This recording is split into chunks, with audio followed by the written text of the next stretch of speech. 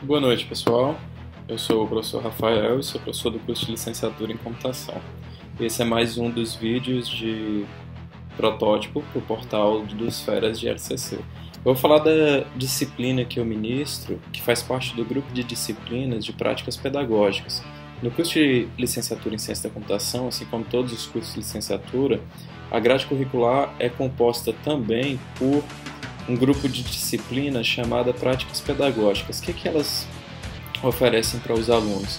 A oportunidade de lidar com um conteúdo ao mesmo tempo técnico e que considere é, o desenvolvimento de, da, da percepção, a construção da prática do ensino, né, da percepção de como construir, como dialogar com o aluno nos processos de ensino-aprendizagem.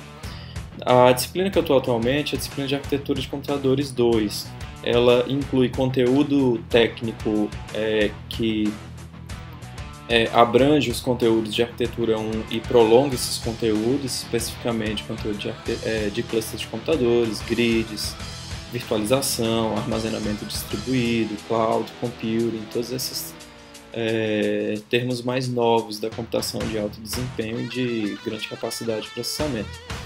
É, ao mesmo tempo, algumas atividades como a criação de apresentações, a é, prática de exposição oral, o diálogo com os outros alunos, a reflexão sobre é, teorias de profissionais que atuam na prática como professores ou como formuladores de conteúdos associados ao ensino-aprendizagem nos diferentes níveis.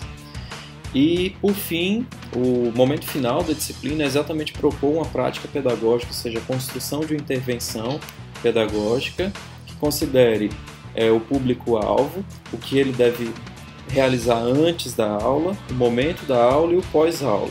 Atualmente a gente tem utilizado metodologias inovadoras como o Design Think ou o Gamification ou ainda o Flipped, Flipped Classroom.